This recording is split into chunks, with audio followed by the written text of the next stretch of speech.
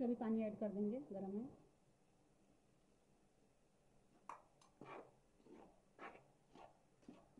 इसको अच्छा ठंडा होने देने के बाद ही सानना है आटा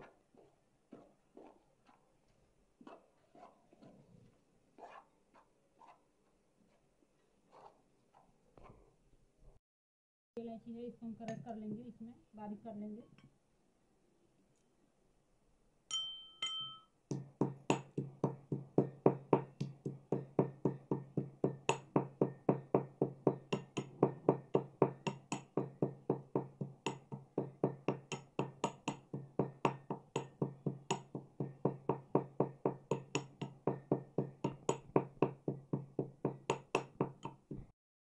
टांग निकाल लेंगे बाहर कर देंगे इसको।